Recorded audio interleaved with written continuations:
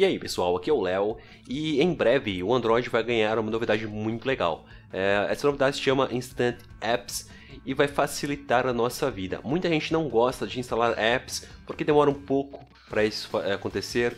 É, normalmente a pessoa vai usar o app uma vez só e depois nunca mais vai usar e vai ter que desinstalar o app. Então isso gera um certo transtorno. Por isso o Instant Apps chega para resolver essa questão. Você simplesmente vai clicar num link e o aplicativo vai abrir no seu navegador e você vai poder usar o aplicativo completo pelo navegador. Mas ele não abre como se fosse um site, mas sim como um aplicativo completo.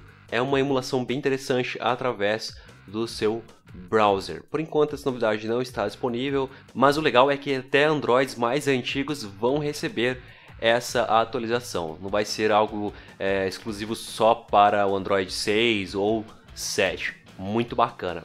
Então é isso, uma notícia bem rápida em relação a uma novidade que o Google vai lançar em breve para o Android. Com certeza isso vai facilitar a vida.